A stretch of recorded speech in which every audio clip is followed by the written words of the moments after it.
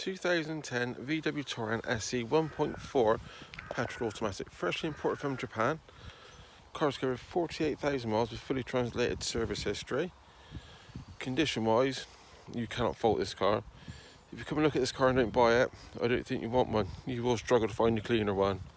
It's got a great spec, upgraded alloys, rear parking sensors, privacy glass, power folding mirrors, air conditioning,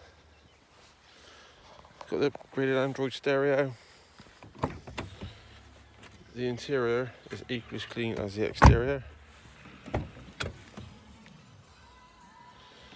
Said, 48,000 miles.